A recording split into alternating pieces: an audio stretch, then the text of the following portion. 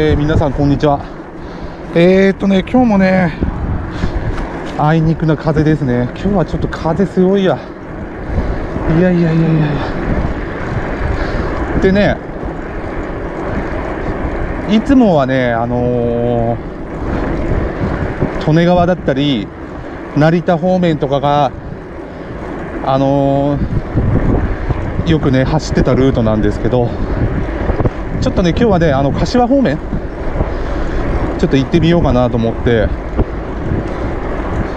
なんで今現在まだ今出発したばっかなんですけど、まあ、今日は結構比較的天気はいいんですけどね。やっぱりちょっと今日今日もねちょっとね風が強くてねで一応ね天気調べたら一応ちょっと今日は西風？西風ということで今来たんだけどね。ただ一応日は西風なんだけどだったらあのね西風だったらねいつも通り利根川で成田方面とかね茨城の方走ってた方がいいんじゃないの？なんて方向的には思うんだけど。まあ一応今今現在西風であの向かい風思いっきり食らってますけど帰りがねあの追い風になるんじゃないかっていう予想でね今あえてちょっとね柏方面今向かってるんですけどね。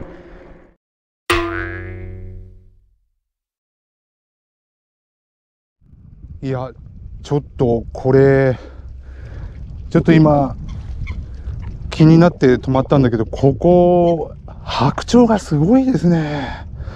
うわこれすげえ。ちょっとね今ね寄ってみたんだけどちょっとすごいなこれ。うわうわうわうわうわなんだこれ。なんかちょっと警備員みたいにバンしてるやつがいるんだけど。おいここすごいななんだこれおいお前こんな近づいても逃げないのかおいあ、これコブ白鳥だな。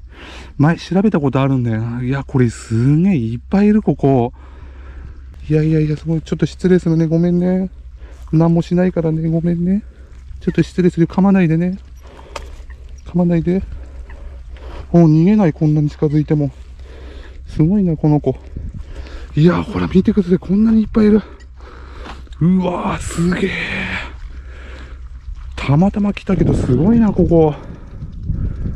これはもう完全にたまり場だな。これちょっと名前わかんないけど、これちっちゃいカモみたいなのもいますね。ちょっとこの白いやつはね、わかるんだけどね、前ちょっと調べたら、これ多分コブ白鳥っていう白鳥だと思うんだけど、ね、なんか本当は日本の白鳥じゃないみたいなんだけど、なんか渡米してきて、なんかこう繁殖してこういう風に増えたみたいなんですけどね、ちょっとね、自分ね、ちょっと鳥のことちょっと興味あって、ちょっと前調べたことあるんだけどね、うん、なんかそんなようなこと載ってたような感じするんですよね、前。いや、すごい。これはすごいわ。本当にいっぱいいる。いやー。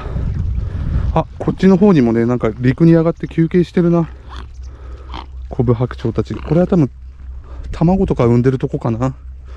よくわかんないけど、近づくと怒るかな。怒んないでね、何もしないからね。あー。こうやって休憩してんだな、上がって。でも、すごいですよね。こうやって近づいても逃げないから、こんなにいっぱいいると思わなかった。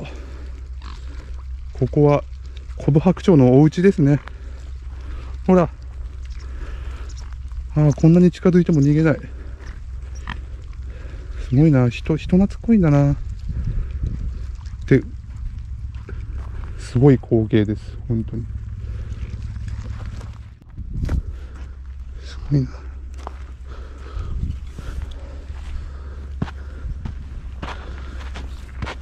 こんにちは。ここ、すごいっすね。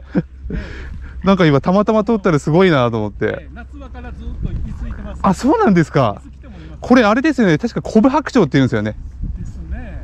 なんか自分もちょっとね、前、ちょっと興味あって調べたことあるんですよ。なんかこれ確かコブ白鳥っていう白鳥じゃないかなと思って。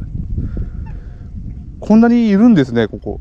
ええ、あの、本当年中、あの、ここは。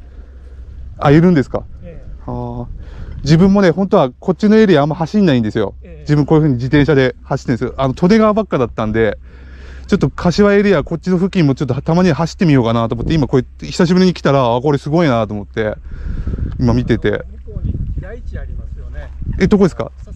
栄っていうところの方なんですけど、はい。そこはあの渡ってくるみたいですねあそうなんですか？でここはねあの夏場でもいますからへえ。ほとんど居ついてるみたいなで、近づいても逃げないから、あ、すごいなと思って。前はあの橋の方にもいたんですけど全部こっちになんかあそうなんですかねこれ多分ここで寝てるんですよね、きっと多分。羽とかすごかったから今降りたら。さっきこっち来る前にその栄の方にある、まあ、有名な白状の平市のところ今1000羽ぐらい来てるみたいですねあー、すごいですね、やっぱであの見物客もいっぱいあー。すごいですね。なんかそこももう何十年も前に1人のなんか農家の方が最初 5, 話か6話ぐらいが来てるのを餌付けし始めてもうその何十年となってもいません。